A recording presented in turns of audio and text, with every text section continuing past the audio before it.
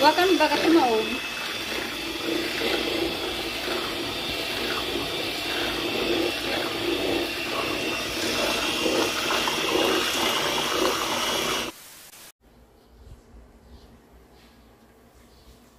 Takip.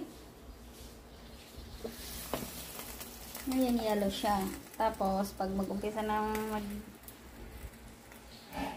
init, nagiging red. Tapos, pag naging luto na siya, mga after 7 minutes or 5 minutes, babalik ulit siya dito. Tapos, tutunog siya. Bibipip, pipipip.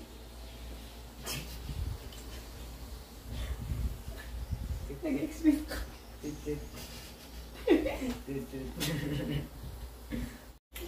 Ito na yung natatapos namin ilang piraso na. Looks perfect naman. Ano na madumi? Totoo ngayon, naging madumi. Hindi ah. Sumabay doon.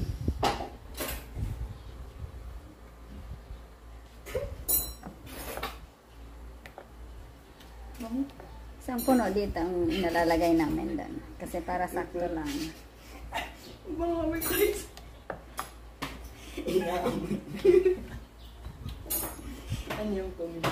Para sa price to.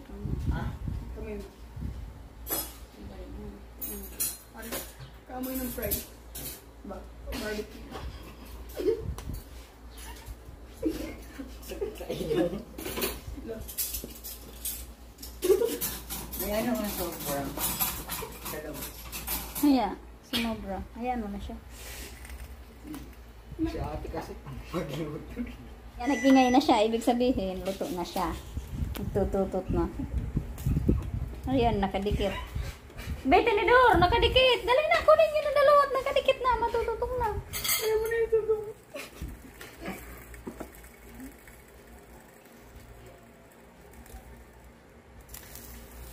Ayan. Ah, diba? Kunin mo na, ilagay mo na dito. Mainit eh. Yung isang dinidor doon. Ayan. Luto na. Konti lang ang ginawa namin kasi kami lang naman ang kakain. Yan ang aming mga pang-toppings. Chocolate. May raspberry. Apricot. Orange. Marmalade. Tsaka strawberry jam. Ha? With matching ice cream. Yeah, but Yeah. We have an ice cream. Sa akin, ang gusto ko ay butter, tsaka sugar.